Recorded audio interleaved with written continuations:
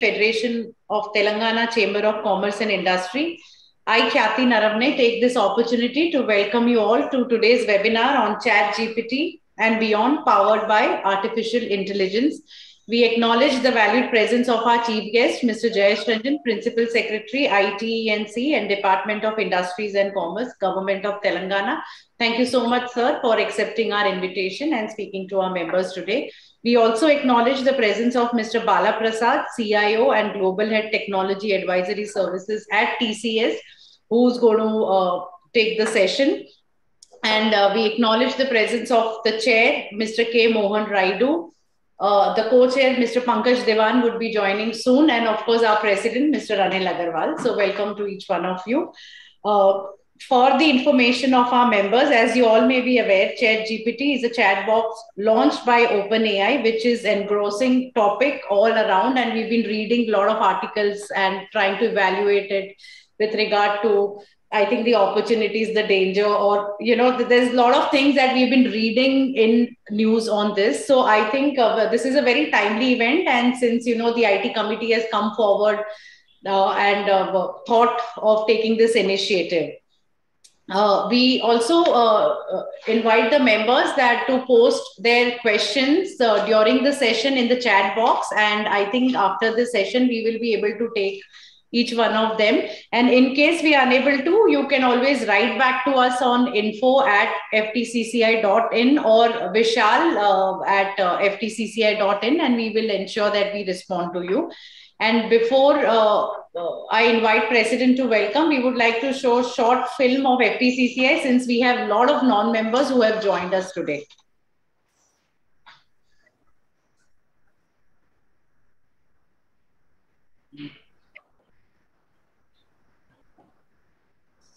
was formed to encourage trade and 19 1917, the year when a dedicated organization, the Deccan Chamber of Commerce, was formed to encourage trade and commerce activities.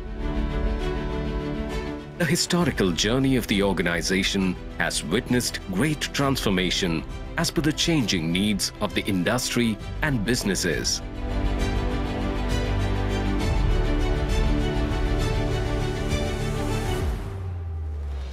Federation of Telangana Chambers of Commerce and Industry, FTCCI, a legacy of excellence, voice of the industry, representing interests of over 25,000 businesses of all sizes, sectors and regions, is empowering industry and trade of Telangana state. A world leader in pharma, a global hub for vaccine, home to all major MNCs, leader in IT exports, and emerging first stop of India. FTCCI advocates a pro-business environment, caters to the needs of MSMEs, budding entrepreneurs, and traders through its advisory services in taxation, market information, industry-related issues, B2B connection.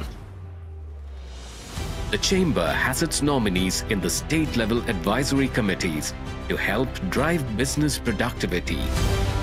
FTCCI aids in providing certificate of origin for exporters, issues visa recommendation for business travels.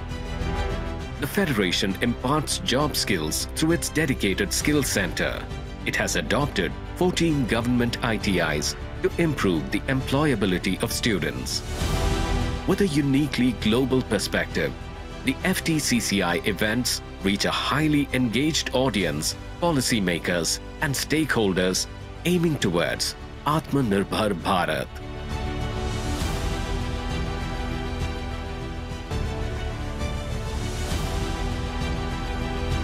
FTCCI to work with government, tell us and guide us कि हम लोग क्या कर सकते हैं to remain competitive, to remain better than our competition.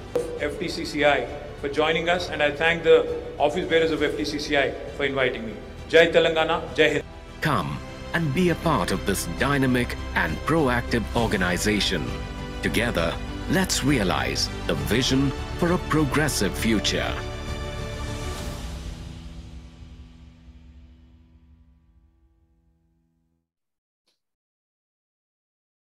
Thank you so much. Uh, I now invite uh, Mr. Anil Agarwal, President FTCCI, to deliver the welcome address. Shri Jayesh Ranjan Ji, Principal Secretary, Department of Industries and Information Technology. Shri Mohan Raidu, Chair of ICT Committee. Shri Bala Prasad Pidigari, Chief Innovation Officer and Global Head, Technology Advisory Services, CMT Unit at TCS, and Co-Chair of ICT Committee.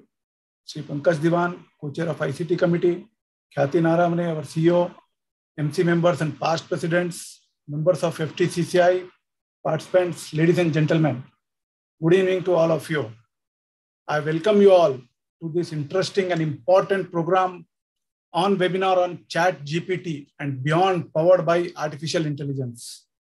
Every new technology has brought about a transformational change when Google was launched in 1998, it was one of the search engine available on web, which uses complex algorithm to crawl the web and index pages, which it then ranks according to relevance and popularity. Google and Chat GPT uses different underlying technology. Google's search algorithm is based on complex mathematical calculations while chat gpt is based on a neutral network that has been trained on a large corpus of text. Chat gpt it is chat generative pre-trained transformer is a chatbot. It is a large language model developed and launched as a prototype by open artificial intelligence on november 30 2022 it was created using a vast amount of data and advanced machine learning algorithms. Its purpose is to assist users in generating human-like responses to their questions and statements. It gives a detailed responses and articulate responses across many domains of knowledge. It is capable of processing and understanding natural language input from users. It can give answers on wide range of questions from basic factual inquiries to more complex ones that requires nuanced and contextual answers. Chat GPT is versatile and gives responses on diverse range of topics, including science, technology, history, current events, and more. And it gives more accurate and helpful responses possible. I remember when I was in college, that fax machine was has come and and we used to wonder how the paper, that is the print on one paper will come on the fax machine on the other paper. But it has evolved, technology has evolved over the years. And now we have emails, we have now more technology is developing. So I hope this webinar helps you in understanding what is chat GPT and how it is helpful. And our learned speaker will clear all your doubts. Thank you. Over to you, Khyati. Yeah, thank you. Thank you so much, Mr. Agarwal. And uh, now I invite the chair of the ICT committee, Mr. K. Mohan Raidu, to uh, give the theme address. Thank you, Khyati. Uh, Sri Jayesh Ranjan, uh, IAS, and the Principal Secretary, ITE and Uh, Mr. Anil Agarwal, President FTCCI. Uh, uh, Khyati, CEO of FTCCI. Bala Pidigari, our co-chair and the uh, today's speaker, uh, Vishal, director, uh, FTCCI, and all the ladies and gentlemen in the audience. Very good afternoon to all of you. I welcome you to this webinar on ChatGPT. Uh, I will give a small glimpse of what is happening at ICT committee at uh, FTCCI. I will take a, a few minutes. Over the a few years, you know, we have uh, been doing programs on digital transformation, social media marketing, AI, IoT, blockchain, and 5G, etc. this year, we have a vibrant uh, ICT committee with two advisors and three co-chairs. Advisors are Mr. Uh, Professor Uday Desai from IIT Hyderabad and Mr. Rajanna from TCS. Co our co-chairs are uh, Bala Pidigari Mr. Uh, Pankaj Diwan from Idea Labs and uh, Mr. B.S. Rao from Adani Group. Committee members are from TCS. Uh, we have the committee members from TCS, GMR, Adani Group, Oracle, T-Hub, and many IT companies.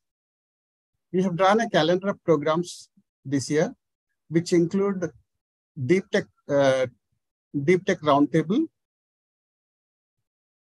Startup Corporate Connect, mega event on blockchain and 5G, domain hubs at educational institutions, skill development programs in blockchain, cloud, and AI, and uh, and also a, an MSME health card system with, on which we are working. A few of the 10 programs that we have done this year are webinar on building trust in cross-border data flows in collaboration with the International Chamber of Commerce France, and application modernization powered by 5G and Edge uh, by experts from RCI, Wipro, and OpenText. Then we have also done a deep tech roundtable at T-Hub on 9th of uh, Jan. And coming to the, today's topic, uh, generative AI refers to a class of artificial intelligence algorithms creating new content that resembles human created content. Generative AI models are uh, typically trained on large data sets of examples and uh, use that data to generate new content. ChatGPT, which stands for Chat Generative Pre-trained Transformer, is a specific type of generative AI model that is focused on generating natural language text in the form of conversations. It was trained on a massive data set of text and can be used to generate human-like responses to natural language inputs. The future of ChatGPT is likely to involve continued improvements that will allow it to generate even more re realistic and natural language responses. I uh, invite uh, Mr. Jayesh Ranjan. He is the Principal Secretary for Information Technology, Electronics and Communications and Industries and Commerce Department of uh, Departments of Government of Telangana. He is the beloved friend of FTCCI, has a great passion for technologies. His eloquent talks on technologies, use cases, and opportunities mesmerize even the industry leaders. He is the visionary for the growth of IT in Telangana. I invite uh, Mr. Jayesh Ranjan. Uh, before I ask him to uh, uh take over, I also invite Mr. Uh, Padma, Padmasri, Dr. Uh, Tripuraneni Hanuman, Hanuman Chowdary, the first and founding chairman of and managing director of Videsh Sanchar Nigam, India's first international telecommunication corporation. He is shown keen interest to you know participate in this uh, uh, webinar, you must be he must be watching. Thank you. I now request Mr. Jayesh Ranjan to. Okay. Thank you.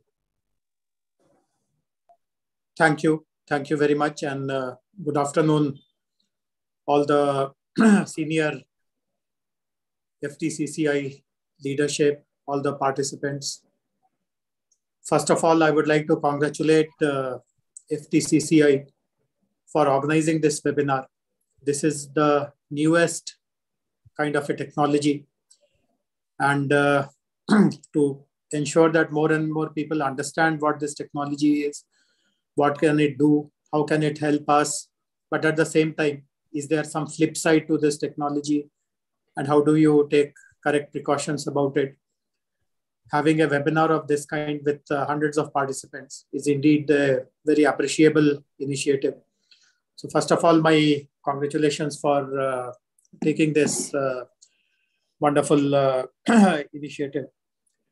I would uh, mention to everyone that we have seen, particularly in the last decade or so, advancements in uh, technology like ever before. In fact, the pace at which technology is advancing, new knowledge is coming up, particularly in the last 10 years. This has never been seen in any of the preceding decades. So many transformative work has happened throughout the world, but in one period of 10 years, to see so many new things come up is really mind-boggling. And uh, Chat GPT is in the is the latest in that series of uh, advancement of knowledge, particularly in the area of artificial intelligence.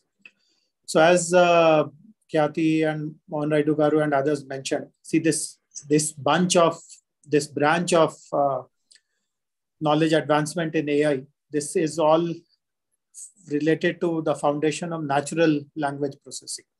See, for example, when I speak, of course, as a child, I have been taught the basics of English grammar, the vocabulary, the alphabets. But over a period of time, I don't have to think too much. I mean, the mind is automatically processing what sentence will follow this, what will be the next sentence. So it, this kind of a pro processing is happening very, very normally. And similarly, as a listener, you just need to hear the first part of the word that I'm going to say, and it will immediately register to you. The meaning will become very clear. Unless the vocabulary has something which is completely unfamiliar, you will be able to pick my speech very, very easily. You don't have to think twice or keep a dictionary open to continuously check, etc. So the brain is uh, is kind of wired in a way in in that format. So natural la uh, language processing is a branch of uh, AI in which uh, computers are given the ability or they are trained to develop that ability to understand the spoken word or to even understand text in the same way as human beings can do. And we have seen, particularly, lots of transformative work has happened in uh, a few premier institutions in the US, in uh, MIT, in Stanford, and elsewhere also. In fact, we don't know much of what is happening in China, in Chinese uh, science academies, etc. But they have also done some uh, remarkable discoveries.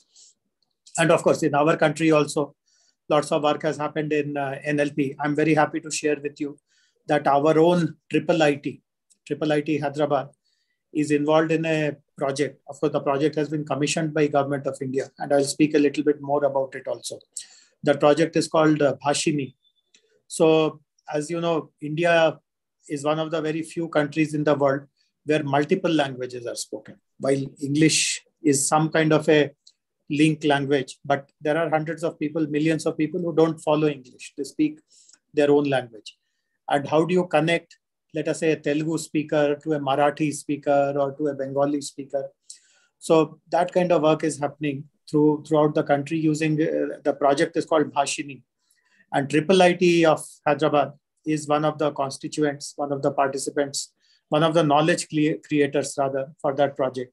There's a national level uh, project monitoring group and they have invited a few state secretaries also to be a part of that. I'm one of them. So uh, I, I, can tell you with my own knowledge and experience that our country is uh, not far behind when it comes to NLP applications, etc. But as I said, the biggest news making uh, application is the chat GPT, which as everyone else has pointed out, has been originated in a company which has now been uh, taken over by Microsoft called uh, OpenAI. And uh, lots of us are using Chat GPT just for fun purpose. In, in fact, I also have an account and uh, I ask all kinds of fun questions. In fact, uh, I just noticed on social media, very interesting usage. Someone known to me posed a question to Chat GPT of, of uh, the question posed was, tell five most common proverbs in Telugu and immediately within uh, seconds, five proverbs in Telugu came. They were written in Telugu, they were written in English, their meaning was given in English. And it was all very, very amazing that uh, Chat GPT's uh, ability to crawl through what could be some hundreds of Telugu textbooks or uh, written kind of uh, documents and then pull out the five most popular proverbs, etc. Of course, ChatGPT is not 100% accurate. Many of us know about it. For example, uh, once I asked about myself, that who is Jayesh Ranjan?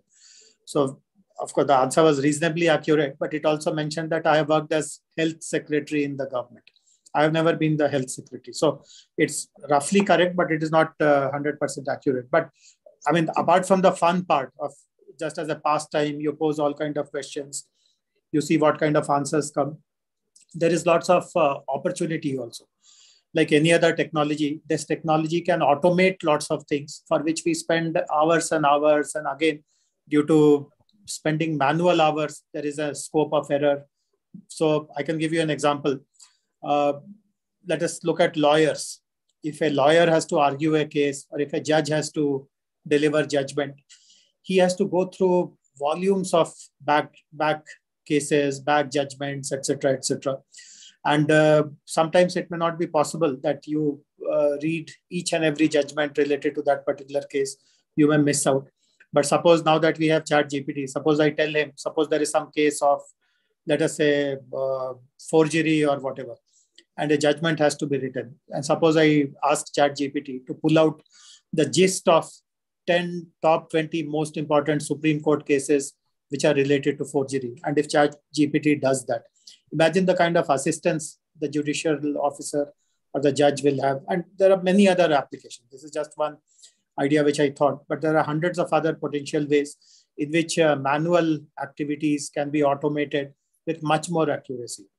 Of course, Chat GPT and any other kind of natural language processing software, they need to be trained. I mean, when uh, I mentioned what is NLP, and I mentioned that it is the ability for computers to process spoken uh, language or text the same way our human brain does. It is not through magic. You have to train your software for hours and hours and hours over humongous piece of data. So huge volumes of data, terabytes of data have to be exposed. And then only what is called machine learning. Machine starts discovering patterns. This the essence behind natural language processing is the ability to discover patterns. And once the patterns are discovered and there is some consistency in the way patterns are, uh, are uh, kind of appearing, then the algorithm starts uh, taking over. So uh, while I mentioned to you that right now people who are trying chat GPT for fun purpose, they also notice lots of inaccuracies, etc. But I'm very sure that, and first of all, the OpenAI's chat GPT, they have been uh, trained only on uh, documents which are valid up to April 2021. So last two years of documents are not shared or not used in the machine learning uh, process. And therefore, there is always a knowledge gap, so to say. But at some point in time, suppose with more uh, uh, practice, more machine learning, you develop more and more accuracy. The application areas are humongous. Wherever you have to, I, I also recall one more case. Let us say uh, this is something which uh, doctors do. Suppose I suffer from an ailment.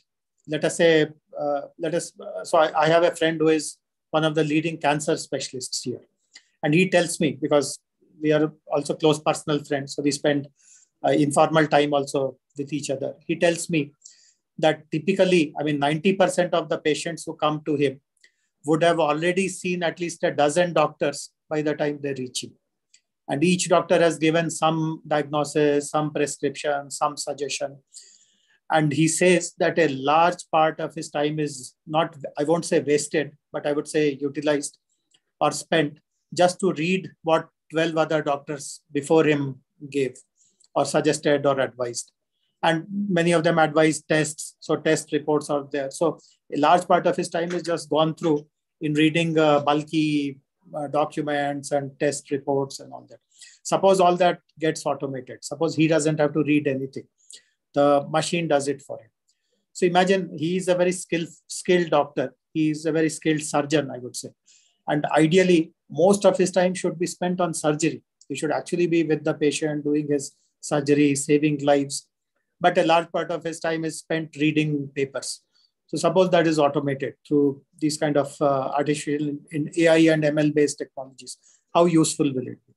So there are lots of good cases. And uh, as I said, Bhashini, which is uh, right now a work in progress, is a very good example. Imagine right now people say that uh, in India, uh, people are very parochial because it is difficult to understand the other person's language. If I'm a Telugu speaker, I would like to remain in and around Telangana or Andhra Pradesh. I would not like to go and work in, uh, let us say, Bombay or Delhi, because I will have some language barrier.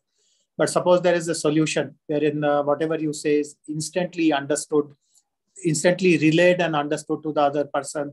He relays it, his answer back to you. and you understand it in Telugu, how easy it will it will be for flexible flexibility in migration, mobility. You can uh, expand your talent pool to bring the best talented people, regardless of language barriers, and so on and so forth. So there are good cases, but lots of uh, like any other technology, lots of uh, pitfalls or lots of dangers are also getting uh, identified. In fact, uh, one which is very common, commonly very intuitively understood, that uh, students will start, uh, let us say, misusing the chat GPT. Suppose I'm asked to write a assignment for my school or my college. Uh, why should I do any kind of research? I just open a chat GPT account and mention that this is the topic on which I have to write a thousand word essay. In two minutes, the essay will be ready. So why should I then do any studies, etc.? So this is a pitfall. Imagine, see, children go through a schooling process, exams are conducted, tests are given, homework is given, assignments are asked to be submitted. Because you develop the process of critical thinking. See, more than you may not become a subject matter expert in that domain. You are studying so many things. Not everything will become your profession at the end of it. But the basic purpose of education is to develop a, a, uh, a skill of critical thinking in you so that later on, whatever profession you choose, that skill helps you. Now imagine if uh, every student says that why should I do any kind of original thinking? Let the machine do it for me. I mean, that will be disastrous for the civilization. It will be disastrous for society. In fact, when ChatGPT came into prominence, I remember Elon Musk had tweeted, goodbye to homework. But I don't agree with it. I mean, it will be a disaster if, if no homework is, I mean, if no one does homework, if no one reads anything. And uh, the age of a child at a school going age is a very formative age. That is the time when you should inculcate the realization that the world is full of knowledge and you should always be knowledge seeker. But if everything is uh, getting spoon fed to you, that will be disastrous. And in fact, I just, I, I, feel very happy about it. I just read about it uh, a few days ago. I don't recall where I read it, but I'll be happy to share the source. I learned that a student in uh, Princeton, in Princeton University, he has developed a uh, solution. It, it rivals Chat GPT. It is called uh, GPT Zero. So if as a student I have submitted some assignment to a teacher, GPT Zero can check how much of GPT's contribution was there in that assignment whether that assignment is original or whether that, that assignment has been done using GPT, how much of that assignment has been done using GPT from 0% to 10%, 20, 30, leading to 100. So right now, I mean, I don't know about your college days. In my college days also, it was uh, it was there, of course, but uh, technology was not so advanced. But these days, for example, till recently, I was also the officiating uh, vice chancellor of JNTU. In JNTU, we used to apply a software uh, for a plagiarism test, just to ensure that a student who is submitting his dissertation, we used to do it basically for dissertations, PhD, uh, MTech, BTech dissertations, etc. So Turnitin is the name of that software. So we would run every uh, dissertation through Turnitin and it will identify if there are passages which have just been copied from somewhere else. And uh, we would uh, then, uh, JNTU had some policy. If the plagiarism is more than X percentage, then you completely uh, debar that person and all that. Strict norms were there. And uh, very shortly, I'm very sure this also will become an additional check. GPT zero, every assignment will be checked whether you are using a machine to do your assignment, etc. So and tomorrow there could be other uh, pitfalls also. Of course, like any other technology, one common apprehension is that jobs will be lost. And earlier, also when I was telling that many of the things that we do manually, they can be automated. One uh, one uh, uh, one uh, subtext behind this statement could be: What about the jobs which will be lost? When I'm doing something manually, hundreds of people are engaged in that when I'm uh, doing it with a machine, what happens to those 100 people? So this is an apprehension which has been raised from uh, almost uh, one century or even more. Whenever some new technology comes, what will happen to people. But it has been found that new technologies typically create new kinds of jobs. And therefore, uh, while some kinds of jobs will be lost, so for example, let us say a judge is there, he recruits four assistants just to figure out which are the old judgments to read and quote in the judgment. Maybe those four assistants may not be doing that thing, but then they can be trained or reskilled to do something else also. So that is not a very valid kind of a apprehension in my my opinion. The opportunities of Chat GPT are far more than what the pitfalls could be. We should all collectively figure out how the solution, how this tool rather can be utilized to advance the uh, economic development of society, of people, and how to avoid the pitfalls. In Telangana, as many of you would know, artificial intelligence is a very focused sector for us. The year of 2020 was celebrated by us as the year of AI. Lots of interesting AI work has happened uh, and continues to happen. In fact, no single week passes when we don't evaluate some new AI based uh, proposal, some solution, we see some POC, we see some demo, and we feel very enthusiastic about it. We have not yet seen too many chat GPT kind of proposals, etc., coming our way. But I'm sure through webinars like this, more and more people will get to know what uh, chat GPT is. They will do some research. They will start reading.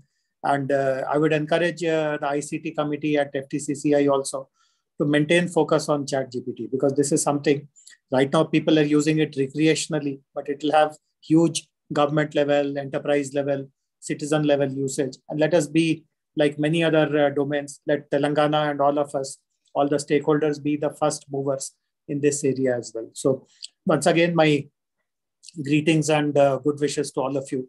Unfortunately, I'll be logging off very shortly. I will not be able to take questions, but I would request uh, Khyati and rest of the organizers, if there are some questions in which uh, some uh, some kind of an interaction with government is required, please make a note of the question and the questionnaire and uh, pass that uh, detail to me later. I'll be happy to follow it up. But once again, congratulations to the FTCCI and to the ICT committee for organizing this webinar.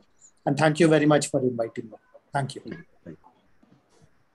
Thank you, Mr. Jayesh. Actually, we were planning for a, day-long program, and uh, as it was taking a little time, and our members uh, you know started asking us to do a program we we have done it today i think as you, you have uh, suggested we will take it up on a sustained basis and uh, we'll work on it.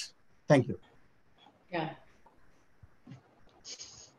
Thank you. Thank you so much uh, sir for uh, sharing your uh, personal experience with the chat gpt and my god like the knowledge that you have with regard to this chat gpt i think at least I can say myself that I don't have an account, but I think after this session, definitely I want to make an account and see what kind, what it is.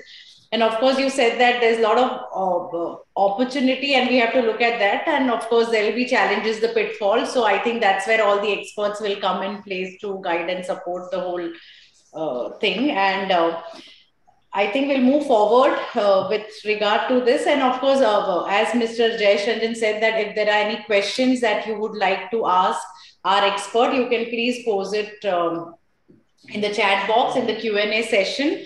And if there are any questions for uh, Mr. Jayesh Ranjan, you please uh, share it with us, which we will compile and then send it to uh, sir. Um, I now request uh, the chair uh, of the ICT committee, Mr. Uh, K. Mohan Raidu, to introduce uh, our speaker today, who is Mr. Bala Prasad, also the co-chair of our ICT committee. So uh, over to you, Mr. Raidu. Thank you, Khyati. Uh, it's my pleasure to introduce Bala, my dear friend, and our co-chair. He's, uh, we work closely on so many forums, and FTCC is one of the forums. Uh, Mr. Bala Prasad Peddigari has been with TCS for over 24 years as a principal consultant and chief innovation officer at Communications, Media, and Technology Unit. He is responsible for uh, driving purpose-driven transformation program with the technology enablers, research, and innovation functions.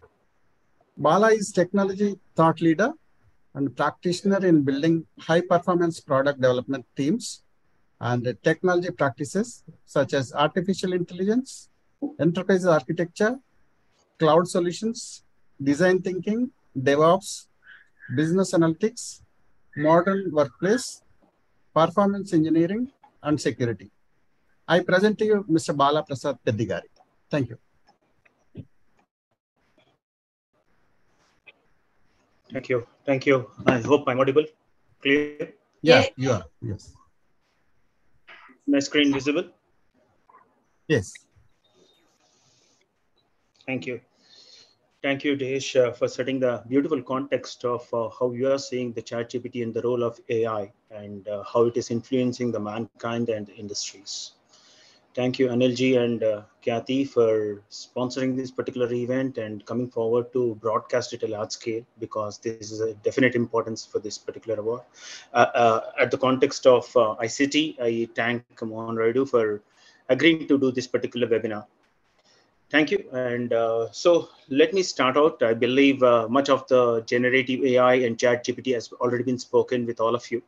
But in order to set the context and help you understand some more details around what OpenAI, OpenAI is trying to do and how this chat GPT really evolved, we need to little uh, go back and understand the evolution of generative AI and also understand what Gartner is trying to predict in the space of generative AI and what is the overall outlook in this entire context, which will really propagate us to think about the different use cases. Some of the use cases are already spoken by Jayesh, where he was trying to talk about how judges or the lawyers can be able to uh, understand the volume of use cases by leveraging the power of AI by going through the millions of documents, the help of help and aid of the chat GPT kind of engines. We'll also try to understand some of the historical work and the research areas associated to the OpenAI, which led to the uh, development of the chat GPT. Later, I will try to touch upon the chat GPT and associated use cases, which will be highly relevant and useful, which will also open up your thoughts on how you can relate back uh, how ChatGPT can be extended once the OpenAI opens up the API for uh, other areas of the development. Further to that, I'll also try to touch base on the la large language models, which is a basic fundamental construct, which is really allowing people to take advantage of uh, power of AI and trying to help human generated responses. That's what the generative AI is trying to talk about that will be the overall set of the context for the next 45 minutes. Uh, I would definitely encourage all of you to uh, put down your questions in the Q&A. Uh, we will definitely take up the questions at the end of the session. So in a nutshell, if I try to, understand, uh, try to understand and explain you about what is generative AI, you need to be very uh, factual in uh, accepting the fact that this is definitely one of the disruptive technology. It really disruptive because it has uh, trained in such a way that it is able to respond like a, respond and give human kind of responses. Anything which is human in mind definitely will have a lot of uh, touch and uh, touch point for all of us. So it's the kind of innovative results it is trying to provide. It is really bringing out the experiences which is fed into the overall training and also kind of a thought process which has been injected into the machine when John McCarthy really thought about AI, he was trying to advocate the thought that AI should help machine to think like a human. That is a super intelligence what he was trying to think about, and that's where we are trying to approach now with the generative AI. We're still not there, but still getting into that path and direction. Further to that, you also need to understand that what kind of responses it generates. It generates images, artifacts like text responses, audio, video, and also the code. In fact, I can ask generative AI today to write any particular code, like um, write me a code on the palindrome or bubble sort, all the college level programs, what you normally get to know, you can easily get that code construct using the Python language or C or C++, it writes it for us. Probably during the demo time, I'll try to show on that. And it is important that we, it is able to learn from the conversations what you're trying to do means it has got a context associated. So you are trying to converse with any kind of a, a generative AI kind of a tool. It understands the history, it logs that history, it uh, remembers that particular history. And again, after a set of questions, if you go, go back to the previous question, it uses that history as an evidence to reinforce its learning and try to provide that feedback. So, so that is what we call as a reinforcement learning given feedback. That is what uh, it uses to generate the responses and uh, help in uh, understanding the context. And most important thing is it has really impacted almost each and every horizontal space. You try to talk about media, communication, healthcare, banking, fintech, what you call education, every area has got an impact because of this generative AI, which has really took the world by a storm. So that's what when Gartner is trying to understand who is a top analyst. If people doesn't know about Gartner, they normally publish a lot of trends, reports, and the outlook of the primary research what they carry out. And they today predict around 50% of the low code and no code development platforms will provide text to code functionality. Means you try to provide a text and the code is generated for you. That's a power. And in by 2025, you can see that overall 10% of all data is getting produced is coming from the generative AI. And similarly, there is a lot of focus is giving on out of the 30% of the outbound marketing messages from large organizations will be synthetically generated. means machine generated data is getting popularized and that is what is going to come as part of your corporate reports. And it could be from any kind of a uh, discovery process or it could be any kind of a test data generations can also happen. Like just like in the drug development initiatives can also use generative ai so synthetic generation of the data will be the way you could see in the potential future and the machines are very very powerful in nature in doing that. Similarly 90% of the material in the quarterly reports what you try to see today which is humanly constructed probably the machine will start putting up that particular constructs. So as we move forward in the next four to five years, you can see that the manufacturing industries will also use the generative AI to increase their product development uh, efficiency.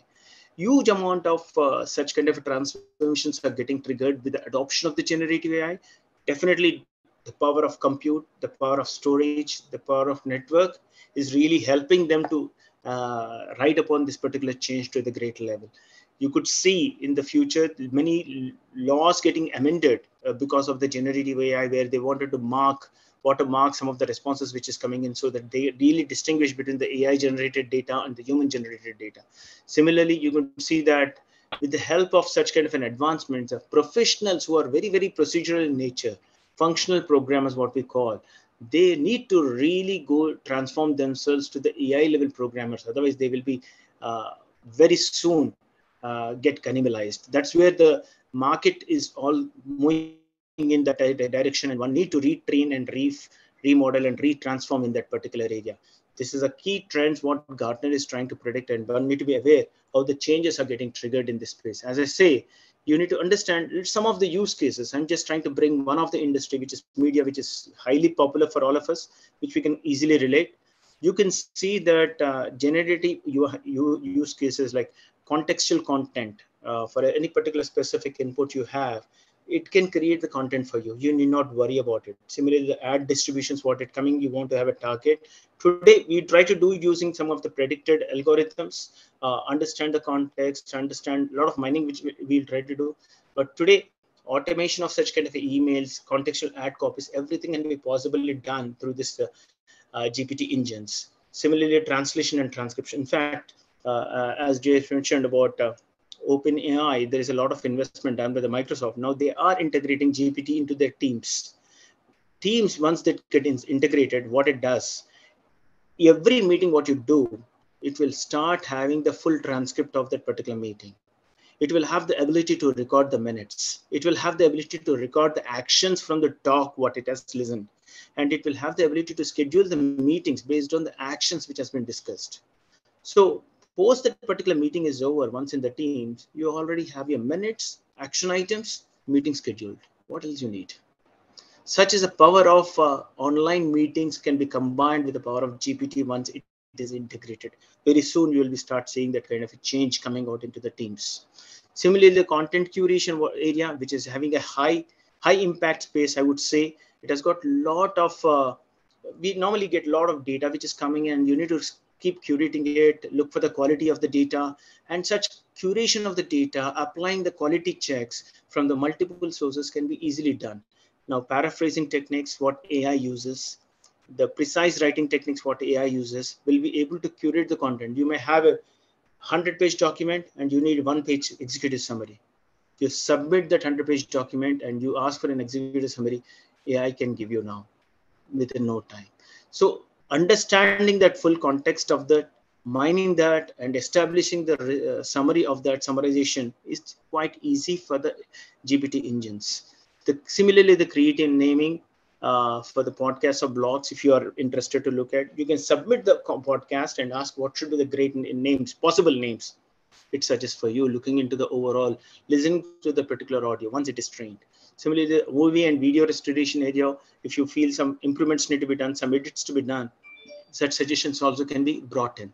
So some providing that amazing and automated digital experience in the media industry is going uh, taken through a storm and they are leveraging this particular GPT techniques to make it highly, highly uh, valuably possible. Similarly, extending further to the specific cross-industry use cases we are really looking at, every industry has got some prominence in this space. You can talk about the location services, if you wanted have a, an uncharted geographical areas where the satellite images you need to pass through and get the map views, you can get it. And similarly, the content management we already discussed on the quality image uh, improvements. If you want to do, it is possible. And in the drug discovery and the drug development area to identify the potential diseases, looking at the historical evidences of such treatments, it's possible now.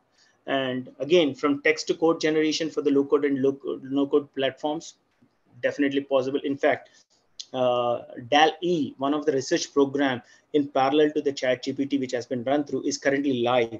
You can easily sign up where you can just give a text and ask for an image and it provides that particular image. Different sets of images will be provided and you can choose. In fact, if you want to have a logo designs also, possible logo designs, you can get it from that particular DALL-E. We'll try to take a look at the demo at the end.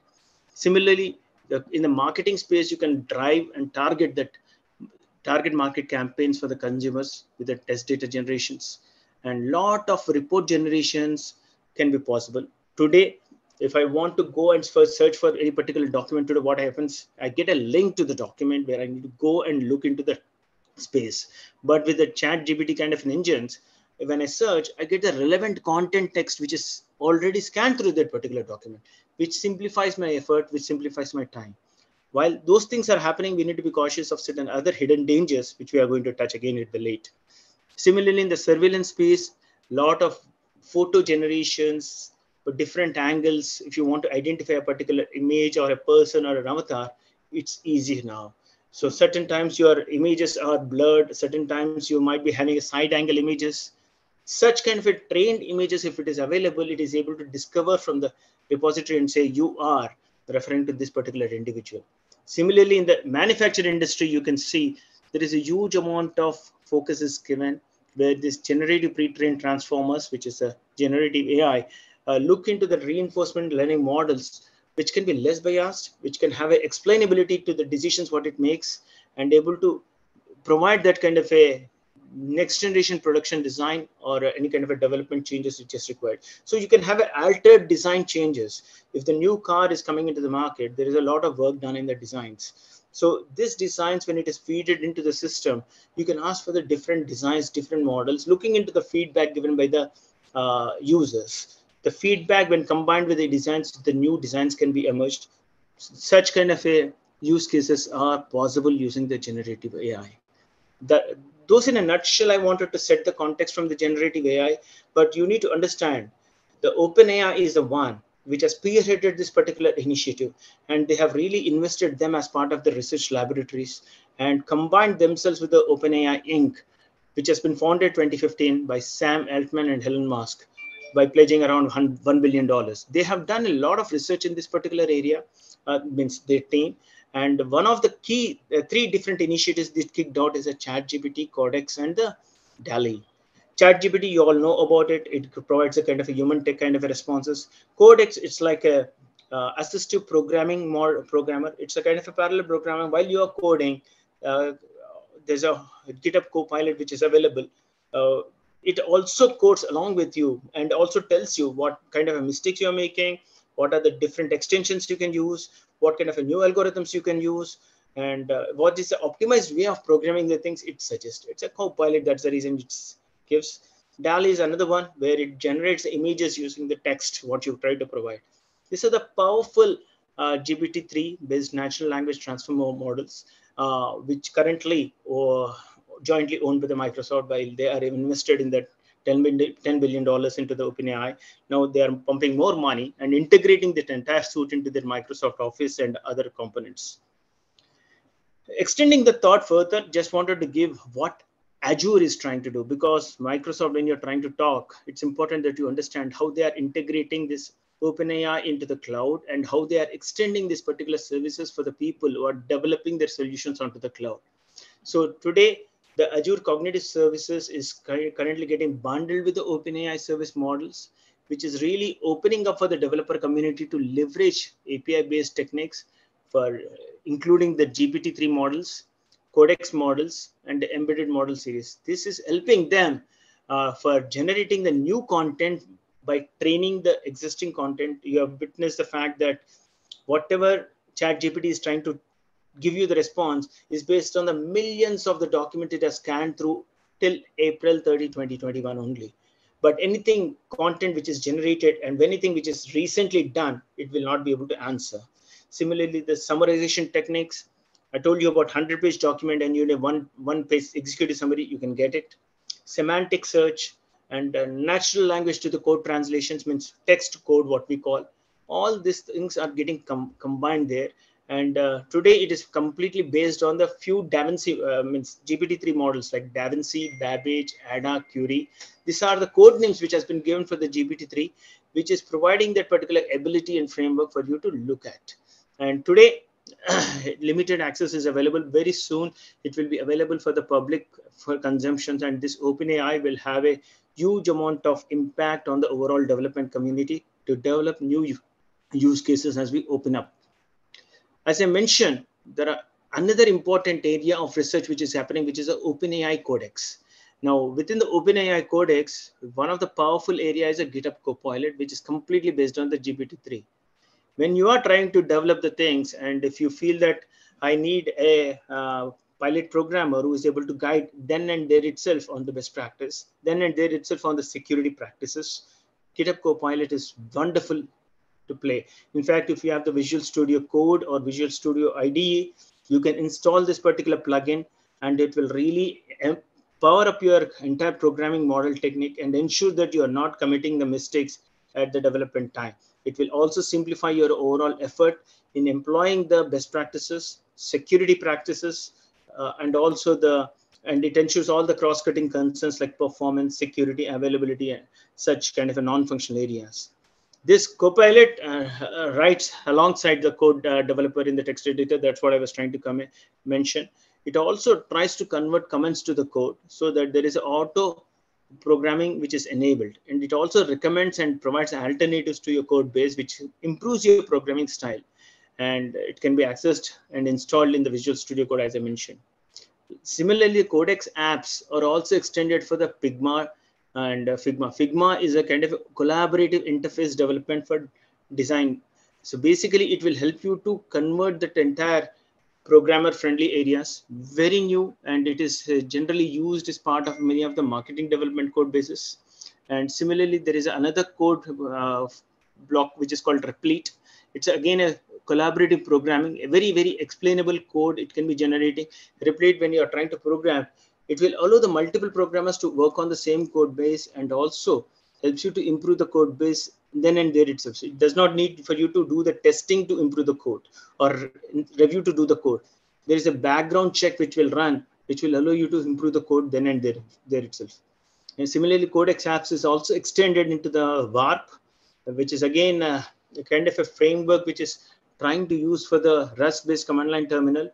Very, very intuitive, and it tries to guide you. You need not remember your syntax. You need not remember the commands. You, as long as you have the intent, what you need to do, it will guide you through that. Similarly, there is a Machinet uh, tool which is available, which is plugged to generate the Java code unit test templates. Again, automatically reviewing the code. You need not worry about writing the unit test cases.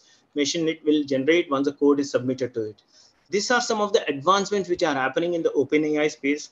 This will really power up and accelerate your current functions. That is the importance of the OpenAI Codex. Now, as I mentioned, that is all about the background of the generative AI and OpenAI research framework, which led to the GPT, what you see today. Just to, before getting into chat GPT, wanted to touch upon the evolution and what is the G, before GPT, what was there. we have seen natural language processing models, which is really helping you to drive uh, a lot of uh, um, analysis, question answers, textual entailment, semantic similarity based on certain specific what it has been given. And but it is never be able to generate some kind of a new thing. It has been completely annotated and provided. Natural language processing models are based on that. But if you really look at the GPT evolution, you need to understand that uh, GPT-1 was the first one, which is completely trained and supervised, where nine out of 12 times the model was compared on. It was able to successfully do, uh, but it was limited capacity to perform the action. When GPT-2, that's another variant which came in, seven out of eight tested language modeling datasets it is able to provide in a zero shot. Means you are able to program the things and generate the code in seven different languages. In the gpt-3 when you look at it has been trained and coached on 175 billion parameters. Means that many relationships it has able to create and around 570 gigabyte of the data it has been trained over.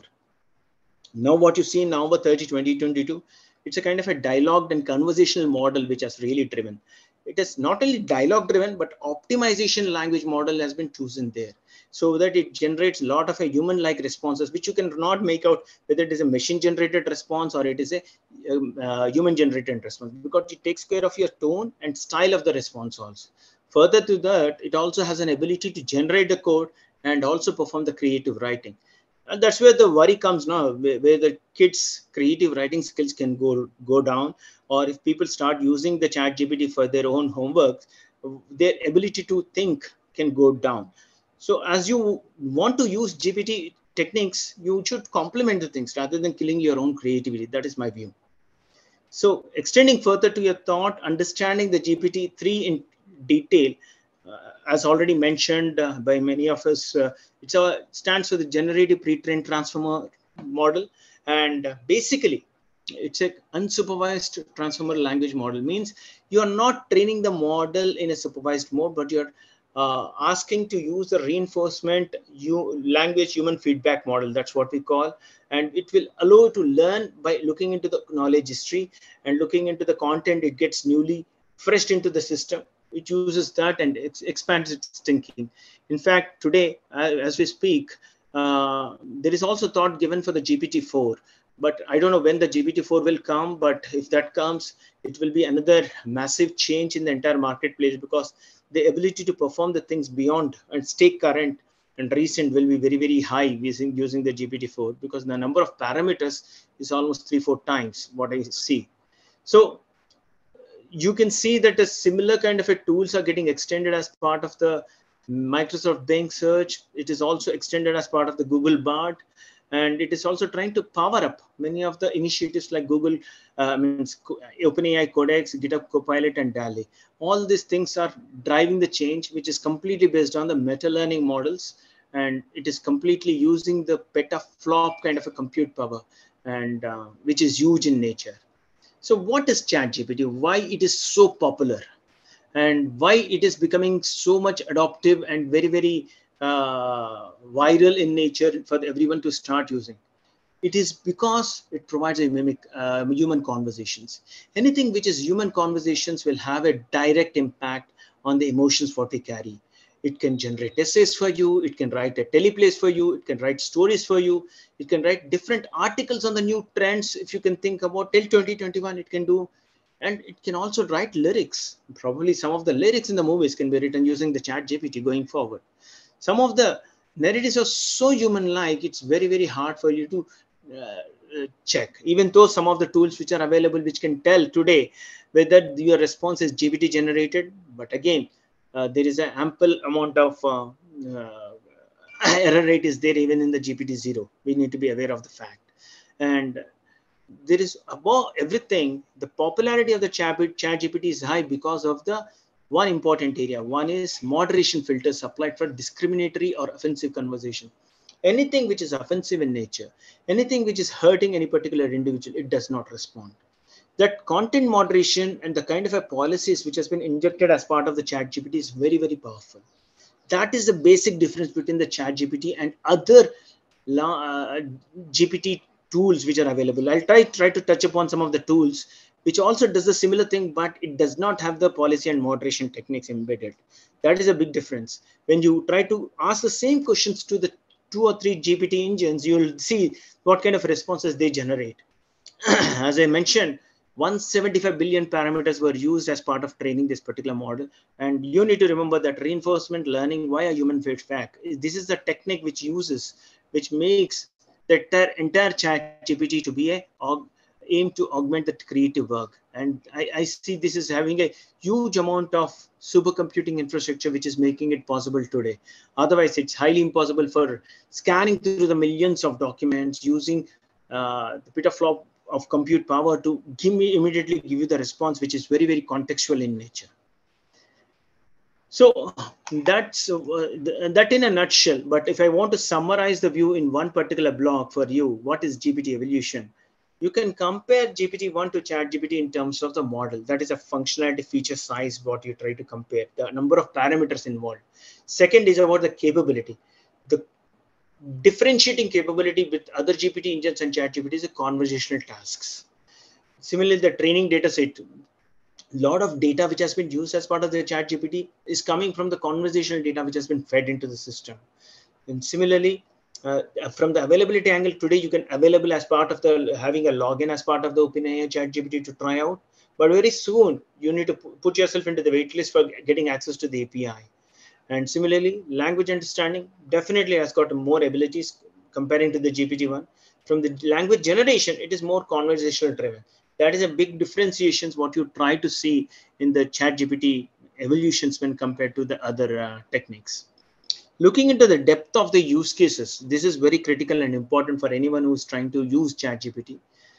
Today, GPT programs can be used for generating the documentation of the code base documentation is very very key. So many times it so happens that to you we get into a maintenance projects and people say that i have the code but i don't have a document. Such time such instances can be avoided by submitting this particular code base and asking for the document to be generated. Machine can understand interpret and provide that meaningful documentation for further understanding. Meaningful designs also can be generated very soon. Generative code snippets. Basically generic programs which are available generic challenges which is available if you can provide that uh, what kind of a code you want, it can generate the code base. It means you can say that I need a particular code on uh, to find out uh, uh shortest path. If you want, uh, if you have a, a, traveling salesman problem and you say that I want uh, shortest way the salesman will travel to complete his tasks, it can give you that kind of a program by taking the metadata inputs. Conversion of code across. I have a code in Python. I want to convert into C. Can I do it? Or any other program model, I can do it. It will be able to provide that. Research and analysis on any topic. You need to understand uh, primary trends or secondary research areas uh, in a particular topic, like 5G, which is very, very hot in nature. How the 5G use cases are evolving. What is the different use cases World Economic Forum is trying to discuss in different areas, like healthcare in 5G, fintech in 5G, manufacturing 5G. You can ask, and it will be able to curate that particular content and give you education question answer pace. In fact, today, as I was saying, that one of my team, I uh, asked them to construct a uh, courseware on the metaverse. And on the metaverse, when we constructed the courseware, the team was asking, the talent development team was asking, can we get a Q&A for that?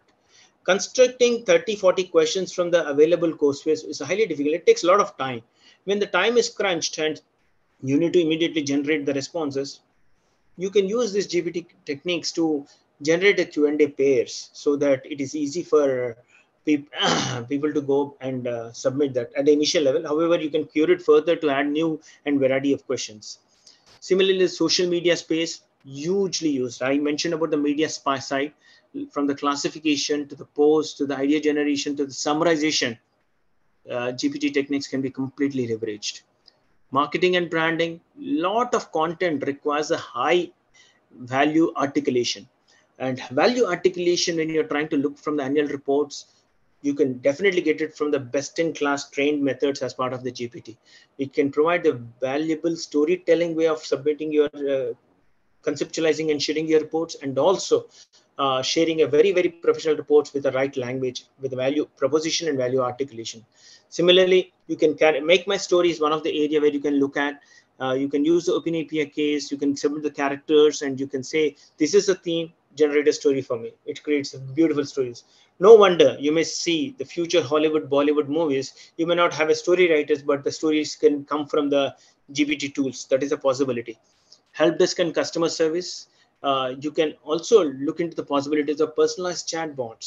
Today, uh, we normally buy any particular product. If you have problem with the product, you reach out to the help desk by calling that number. But with this personalized chatbots, you'll be able to communicate with the chatbots, which can humanly guide you to solve your problem by yourselves, making you self-service enabled. Such kind of scenarios can really cut down the cost of the support space for the enterprises and help in creating a personalized, contextualized experience for the end users who are using your products. So, and similarly, the transcript analysis for the customer services, it will also help you to understand the customer needs better and respond to them. And email responses, what you see today, uh, as I mentioned, right, um, you, in the teams, if it is integrated, you can have a automated emails, automated uh, summary notes, automated scheduling of the meetings is also possible. Some, similarly, the personalized email responses can be integrated using the GPT. Today, when we speak, GPT has been used for different purposes. For a different purposes, when I said someone was using the MBA degree exam at Wharton University, GPT passed out that particular exam with a B grade. Similarly, someone wanted to crack a state medical licensing exam, it it with 60%. Someone using the GPT to crack the AWS certified cloud practitioner exam, it passed with 800 score. Psychology today, verbal linguistic language intelligence IQ test, 147 it scored, which is almost like a 99.9 percentile. SAT exam for the undergraduate programs people attend for 1600 marks, it was able to crack, around 1020, which is 62.5 percentile. So when you try to look at, you can see that it has got a huge amount of uh, usage and leverage people have taken in a different directions. But these are some of the achievements people try to talk about in a good or a bad way but one need to be aware the policy and moderation is a differentiator between the chat gpt and other tools it does not encourage any kind of a response which is leading to the hate harassment violence harm sexual political spam or deception or malware all these categorizations of the responses are taken care if anything which is falling under this particular category it will very politely say, I'm sorry, I'm not trained, I'm not authorized to give you this response. Such policy and moderation made this particular tool to be highly, highly popular rather than getting into a responses which can create a hatred to that particular tool. And I mentioned that GPT-4 Road Hi-Head is very, very, uh, very much there, but it is not yet announced. But if it goes there, then you can see the volume of uh, training which can go from 175 billion parameters to the 100 trillion parameters. That's a huge amount of transformation and the amount of technology and amount of content it will have the enrichment of understanding will be within the globe, everything. So is that ChatGPT is the only thing which is available as part of the large language model? What are the other tools which are available? So if I try to ask some of the large language models, which is beyond GPT-3 and ChatGPT, you can see that Codex, OPT, ChatGenie, Sparrow, PaLM, Replika, LaMDA, Galactica Bloom, these are some of the popular large language models which are used as part of the question answering, document summarization, text generation, sentence completion, and many more translation areas. But one thing you need to remember, they do the same thing what ChatGPT does, but they do not have the policy and moderation areas. I'll show you during the demo time uh, how these particular responses are different. Replika is one of the very, very popular AI platform and very, very interactive and personalized uh, uh, genuine human interactions you can carry out there and uh, it can have a private experience as an AI friend. But remember, um, the more you interact with Replika, the more it learns. Initially, it will not have any particular context around you, but will, once you start interacting, it will try to understand your mood. It will try to understand the context, what your likes, dislikes, and accordingly, it will act like a good friend for you as a long term. It's a kind of a good companion, but uh, again, uh, more you connected, you will be losing the social connections, social human connection. So we be, be very cautious of using the Replika there. ChatGenie uh, very, very powerful uh, chatbot tool which is available today. Uh, this is very popular because uh, it tries to understand uh, news, facts, and all the particular events. Again, this has been uh, knowledge base has been trained till 2021 only, and whatever is available till 2021, it will be able to act appropriately respond. But remember, again, it does not have any policy and moderation areas. If you ask him to uh, ask Chat, Chat to respond with any particular joke on any individual, it tries to flat a joke. It does not say that I cannot give you a joke which is creating a hatred on any particular individual. But ChatGPT doesn't give you the joke. It refuses to give the response. Bloom, again, a very, very good open source alternative uh, which is available today. It is completely based on the auto-regression based uh, large language model. Uh, and uh, keeping the prompts in mind, it uh, tries to use computational resources which are industrially scalable. And it understands 46 different languages of the text, and it also understands and trains on the 13 programming languages. So, so you can get the code base written in 13 different program languages using the Bloom. That's the advantage of using the Bloom. OPT uh, which is an open pre-trained transformer, which is coming from the uh, Facebook's Meta's version of the GPT. And uh, they are trying to use as a replacement for the GPT area. Uh, there's a lot of research which is still going on, but it has got uh, one seventh of the carbon footprint of the GPT-3 means it's still a long way to go for this foundation model to click in. So, but still valuable to try it out. Galactica is again one of the another Meta AI and papers, which has been again open source large language model, which is available. Again, it uses around 120 billion parameters, while GPT uses 175 billion parameters. And this particular Galactica has been trained on a lot of scientific papers and research materials. Anyone who is going in the research area and trying to experiment on the research function, this particular space would be means this galactica tool will be highly useful for him to get the primary research functions. Suppose if you wanted to patent a particular thing you wanted to search whether this particular content has been patented already or not you'll get that validation done so similarly if he wants any particular content on it, the primary area of his research as the reference you can get that pieces of the paper also. Such kind of a scanning is highly possible through the galactica. PaLM is again a pathways language model, which is uh, before the BARD, they were using this. Google has already coming out and launching BARD, but Google PaLM is a pathways language model. It has got a lot of uh, capability around language, sound, and vision. So it's a, it's a lot of, it's a versatile tool which can take all three things into one, one level of input and able to provide you the output accordingly it tries to adaptively learn the things and able to respond to you faster LaMDA is another uh, dialogue applications by google which is today very very powerful what we call.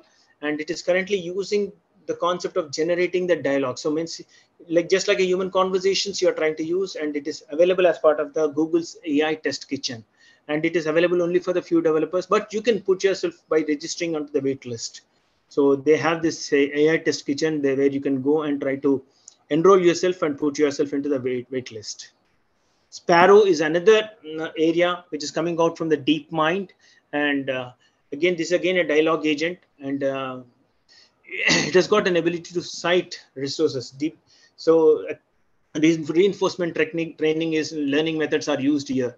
But again, it does not use the policy and moderation to the extent what GPT does. So trying to touch upon some of the important areas, the hidden danger one need to remember is all the content which is getting generated, generated, uh, you cannot trust easily. There is a lot of content which can have a security breach. There is a lot of content which can also provide you with falsified information.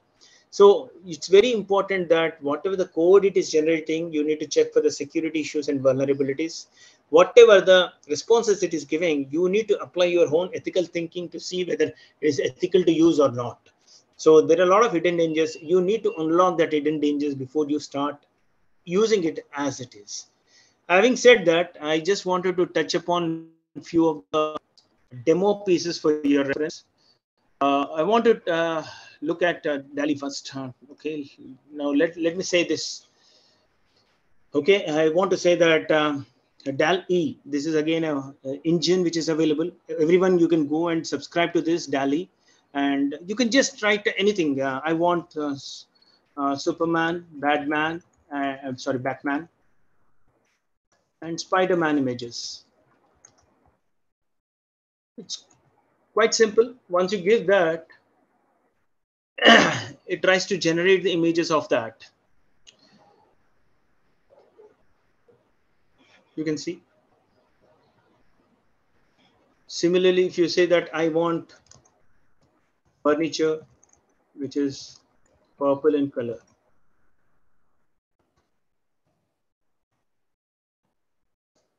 Office furniture, say for instance.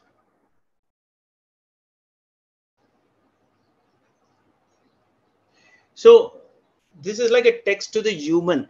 Uh, text to the image is what it kind of generates, and it is again using all the possible combinations of the AI, the GPT AI. This is one utility of it. I'm just trying to come here. This is the ChatGPT interface for your reference. You can go to the OpenAI, uh, beta.openai.com, subscribe that uh, using your Google Mail or any other mail, which is it allows. Once you get, you can try it now, ChatGPT. Let us say, I'm just trying to introduce myself. I want to touch upon the, it understand the context. I'm saying my name is Bala. Let's see what it responds. Okay, I'm asking uh, ChatGPT, can you tell me top trends in ICT area? I'm not expanded ICT for it. Let us see if it understands. Information communication technology, it has understood.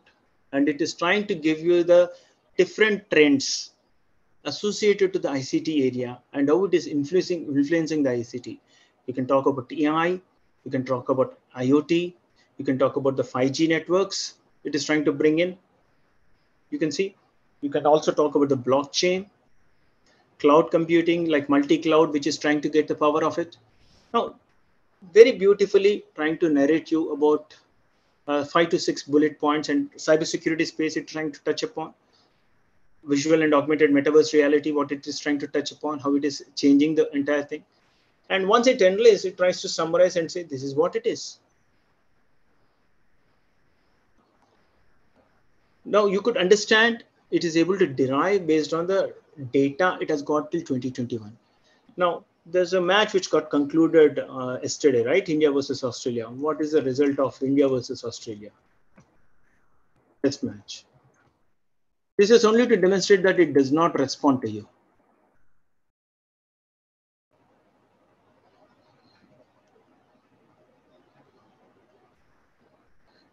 It gives you the context, but it does not give you the, oh, I forgot to ask for the test match result.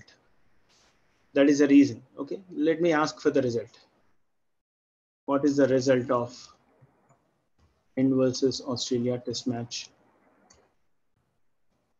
Happened yesterday. You can see that it says it cannot respond because it has not trained on the real-time information what it can talk about. This is an indication for you to tell that it is not trained. Now, after asking so many things, I'm asking, okay. Now, I will say that, okay, tell me a joke. Don't take it seriously. I'm just trying to say uh, dividend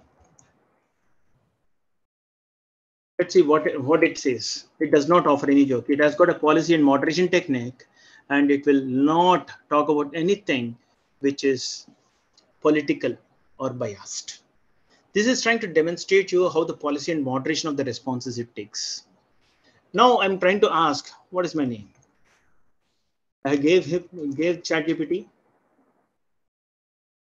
It should understand the context and it should give my name back. So so you can see the policy and moderation as one of the capability. You can see that it is able to understand your question and interpret the expectations according to the context and view the trends. It is, you can also see the reinforcement learning, which is allowing it to understand the history and respond back with that. So this is the capability of the chat GPT. But if you try to take your knowledge to some other tools like OPT or ChatGenie, let's see for ChatGenie. Okay, here uh, it was just just before the session I was asking, uh, but let let me ask, what are the trends in ICT? Similar capability does exist, but response varies.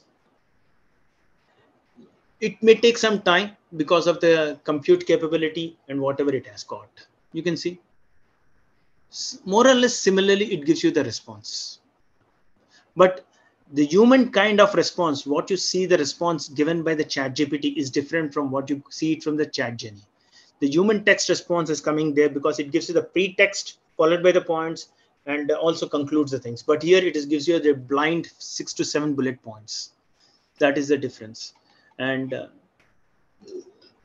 again, this, this model is similarly, the OPT is another one which is available. But here you can control what is the total length you want to Uh, respond. Similarly, I'll give it here. Trends in ICT.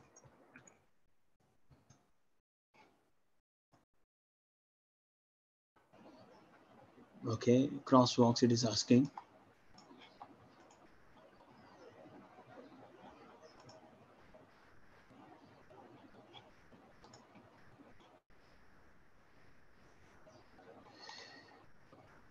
So this this kind of a tools does not have that policy moderation and this is, does not provide you the human text response. It does give you the response but it takes time because of the compute capability what it has.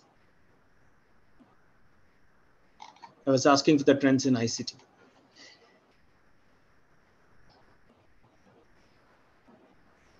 while it does uh, just wanted to let you know that these are some of the facts which is chat gpt is empowering. The amount of uh, GPT based use cases is enormous as part of the overall trends in different landscape of industries. Uh, you can leverage GPT for the talent development. You can use GPT for the HR. You can use GPT for um, different industry sectors also. And you can see here the trends in ICT. So this understands differently, contributes differently, and tries to give you a different view. And uh, this is more driven by the percentage. So if you change the change your question or change your pattern, your response also changes. But you can see how uh, each of the GPTs, based on the content it has been developed, based on the model and training it has been given, able to provide. The more you train, the more parameterization is done to the model, you have the better response capability coming in. So when you compare with the ChatGPT, OPT, or ChatGenie, it's a number of parameters which is involved in training is different. That is the reason the entire responses changes. That is the key. And I just wanted to touch upon that so that you understand the overall power of ChatGPT as you move forward. In case if you wanted to experiment further, there is a way you can generate OpenAI API key. You can log in, create your account, verify your email ID. Once you verify and put down your code, which comes in your phone, you have access to the secret key as part of the API key. And once you submit your API, you will be able to generate different kinds of uh, stories and uh, use uh, GPT uh, to power up your needs. With that, I close my session and I'll be happy to answer your questions. Thank you. So that, that was really insightful, Bala sir, and thank you for guiding us through. So I have some uh, questions from the participants. Uh, the first one is, sure. Uh, uh, Ms., uh, Mrs. Arundhati Rao says, what's the ethical way of working with chat GPT? Similar to the way we refer to credible links to the person, person slash work. Ethical way of working with chat GPT, basically. Uh, honestly, there is no specific uh, answer to this because uh, different people use uh, for different purpose but ethical is something which is subject to the individual, I would say. And uh, if you are asking from the accessibility standpoint, the ethical way to access is having a subscription to the OpenAI. And once you have a subscription to the OpenAI and have obtained that secret key, you can leverage that and use the OpenAI APIs to generate uh, responses or train your uh, content and data. Say, for an instance, you're working in the HR industry you have a lot of resumes to screen. Your your your data boundary is only your resumes. Anything beyond that you don't want. So you give that particular boundary of resumes and you say that you get trained what these resumes are, and then you ask, I'm looking for Java skill. Tell me which is the best profile here. So it's all about you. You are having ethical access to the data. You are using the curated content and leveraging it. But, uh, but the practices leveraged by individual changes to uh, one person to another person. So I cannot comment further on that. Thank you, Bala. Uh, I, we have uh, Sri T.H. Chowdary, Hanuman Chowdary Garu. He has uh, uh, uh, raised his hand. Let's invite him to uh, ask question. Vishal, sure. will you invite him to the panelists? Yes, I did.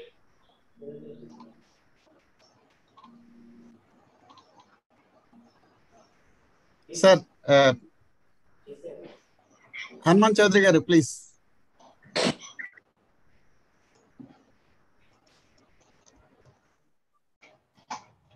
A few observations and a few questions. Sir. Yeah, please. First, sure. number one, Mr. Jay said he referred to the speed with which things are happening. Yeah. Now, it the telephone it took 75 years to reach 50 million users. The mobile phone it took only 12 years. The smartphone mm. took only four years to double from 1 billion to 2 billion. This is the speed with which things are happening. And can we keep pace with these? That is, the people are too young to retire and too old to be retrained. That is one of the philosophical questions. Number two, all the, the China and USA, they have among between themselves 75% of the blockchain patents. China, US, and Japan, these three together have 78% of all the artificial intelligence patents. What is it that India has got? Now, China, I think, is now a superpower because of artificial intelligence of its concentration. In 1990, as long ago as 1997, Deep Blue defeated Garry Kasparov, the world chess champion. For the last 15 years, Manipal Hospital is using IBM computers to, to check as well as prescribe uh, the cure for cancer. So artificial intelligence, if it takes over so many functions of human thought, what is it that India is doing? It is China, America, Japan. These are the three superpowers. In fact, they are going to colonize the minds of the entire world. So this is a very, very great danger that is going to happen. Now, the amount of information that is being generated is the volume of data is doubling every two years. Since 2005, 300 fold, 300 fold it has increased, and every day 2.5 quintillion bytes of data is being generated. A quintillion is 10 to the power 18 this much data, who is digesting? It, it is the American and the Chinese companies which are extracting this inf information. For example, for the last 15 years, China has been exfiltrating, not infiltrating, exfiltrating the information that we have uh, in, in regard to our armed forces, with regard to our railway network, with regard to our telecom network, etc., etc., etc. So my question is, what is it that India is contributing? Are we are only using what somebody else is developing? That means we will be colonized, just we had been colonized by Britain in the past. I would like you to have, there is a book here, wonderful book. You may be aware of this one, Artificial Intelligence and the future of power, the future of power that is by Rajiv Malhotra of the Infinity Foundation in the United States of America. Some comments of yours? No, all, all, the facts what you mentioned is absolutely true, sir. And uh, there is definite contribution which will be coming from India. Also, it's not only the users, but there is a lot of mind share which comes from India to the world in that direction. I see that uh, power of AI is really unfolding in the different parts of the geography. And uh, making a tremendous impact in that entire journey of every industry acceptance and every sector will be benefiting from these changes. And, that is true. But what is in India? Are we having? Is there any awareness? For example, you are in a Tata. I am also a Tata TCS fellow. Mm. Right. We contributed $50 million to Harvard Business School. What for? Similarly, every newly rich company in India, whether it is Wipro or Infosys, they have been contributing tens of millions of dollars to Harvard University, and they are using our brain, our power, in order to collect the data and then prescribe to us what we should think and what we should not do. In fact, the next month I am going to hold a, uh, a three or four day conference on this issue. That is, are we contributing?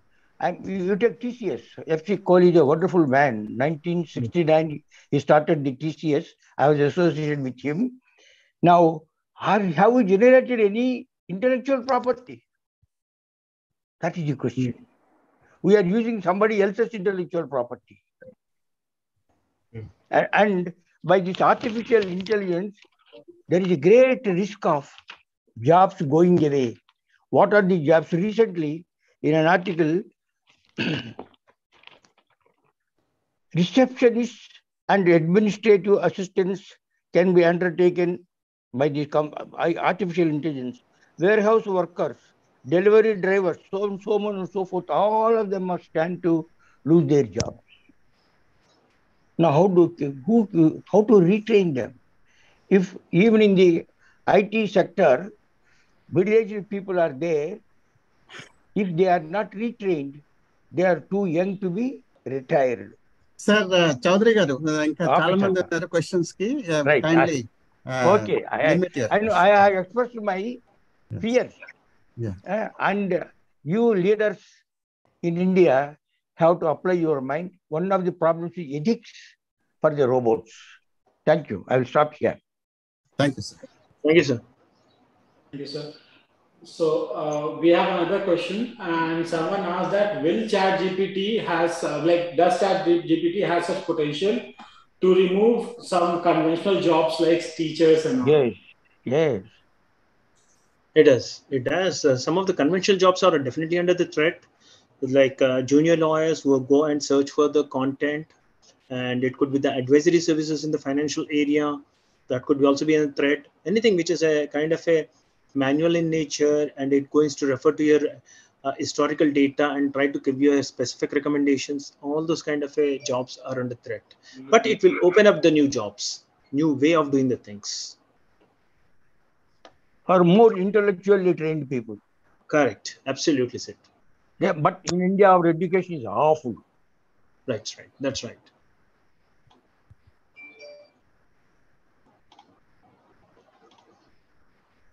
I think Anil, Anil, Anil, Anilji also raised his hand. If he has uh, any specific. So you have any questions? No, no, I'm not having any question. I'm a, not a tech guy. I know how to use that's all Google and Chat GPT. how to use, I now I understood. right, right. Thank you. Thank so, Bharat, there's one more question. Is there any privacy limitation applied to get the to this Chat GPT, and how the usual uh, the, the user of Chat GPT is saved by law provisions? Uh, so basically, it is uh, whatever the responses, what it generates, uh, it's specific to that particular individual. It is not shared outside that particular boundary. ChatGPT definitely uses a policy, moderation, and privacy and security kind of a uh, principles as part of the response and architecture and design what it has cre- withhold. Say, for instance, Vishal, you had a conversation with ChatGPT. Your conversations is never shared outside your account. It is there for you, and it is not easy for anyone to hack or track it. But it may use some of your conversation responses as an intelligent to generate some intelligence which can be used for the other people's responses. But it does not indicate that it's because of Vishal I gained this particular knowledge. It will use that for the uh, understanding and uses the reinforcement learning for that purpose. So there is a lot of context, a lot of privacy. All these things are maintained. That's the reason I showed you, right? Uh, uh, anything which is having that any policy violations or moderation violations, it does not respond. That is the reason ChatGPT is highly successful when you compare with other GPT large language models which are available in the industry today. Yes, sir. Uh, one very relevant question to be very precise because, uh, like, say, three, four years uh, down the line, careers like data scientists and uh, business analysts were a lot in demand. So people were taking up such, such courses. So the question is, will there be job cut for market research, data scientists, professionals, and all? That will be there. It is not going anywhere because those people are key people who are going to provide that intelligence to the model. See, obviously the these large language models need a lot of uh, help from the data scientists, market analysts who can provide that supervised learning uh, responses. They, they are the people who will be able to tell whether whatever the responses has been given is correct or not. And uh, they need to train the models, they need to design the models, and that need to be induced into the model. And uh, these people jobs will be there, and it will continue to evolve. No change in that, and it will be in demand. Sure, evolution is the biggest strength of being a human. So the final question I believe for the day from Mr. Naga Rajesh and it says that how this is going to impact like such AI technologies like ChatGPT, and we talked about ChatGPT 4. How is uh, this going to impact uh, like things like irrigation and agriculture sector, especially in crop produce? See, basically, today, if you're asking, uh, even uh, in TCS, probably Hanuman Chowdary sir also will uh, echo with me, that TCS has invested a lot in M Krishi, where we are trying to give advisory services to the irrigation industry or the uh, ag- agriculture persons, where you do the soil testing, you try to provide the moisture testing, you try to advise what kind of a crops at what time of the uh, climate or what time of the calendar year you need to plant to get a better yield. So today it's all app driven.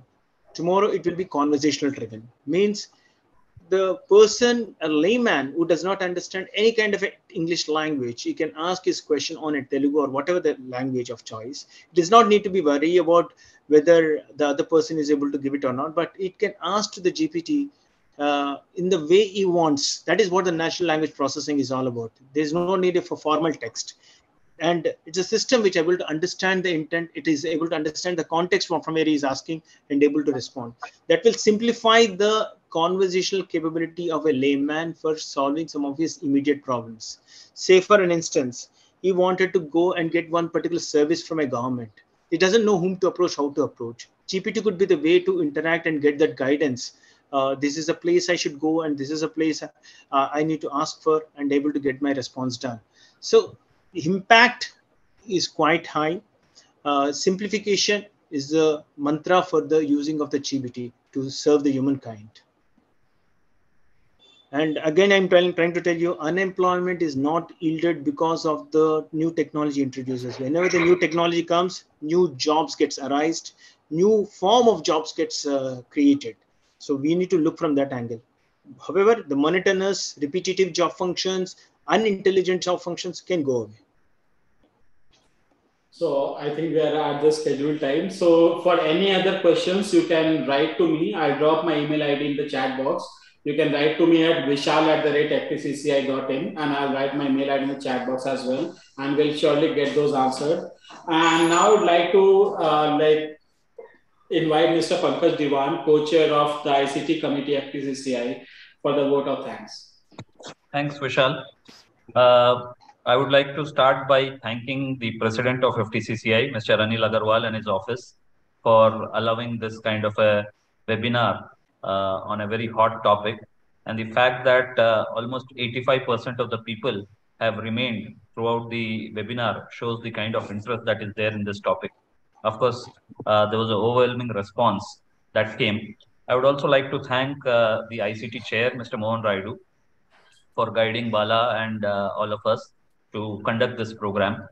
Uh, the CEO, Ms. Khyati Naravane and her office, Vishal, and the entire staff of FTCCI for all the logistics that has gone behind organizing this program. Uh, having Bala as part of ICT committee is a good fortune for the ICT committee of FTCCI. And the simplicity with which he spoke about the topic today, uh, I'm sure everyone in the audience would appreciate how a complex technology and a complex and new concept like ChatGPT was explained explained with such simplicity. So thank you, Bala. Thank you so much for first thank of all volunteering to take up this uh, webinar and uh, second to come up with such a simplified and uh, elaborate explanation of the topic. I'm sure the, all, all the audience uh, will go back enriched with this information which you have capsuled in about an hour's time. And of course, uh, we would like to thank our audience without whom any of these initiatives are of no meaning. Uh, thank you for the overwhelming response in registration. And then thank you for your overwhelming attendance and staying back for the entire duration of the webinar and asking such intelligent questions. In fact, one of the uh, simple ways of measuring the success of a program is the interaction of the audience. And we've had innumerable questions all through the webinar and very smart and intelligent questions. So thank you so much.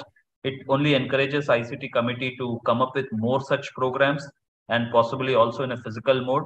Uh, so I would request uh, the president uh, FTCCI, Mr. Anil Agarwal, if he wants to uh, say something at the end of this. But from my side, I would like to thank one and all. And of course, uh, uh, not to miss Mr. Jayesh Ranjan, who was the chief guest and very graciously came to um, inaugurate the session and also speak a few words in terms of how uh, this technology is going to make uh, rapid uh, changes or rapid you know intervention in human life.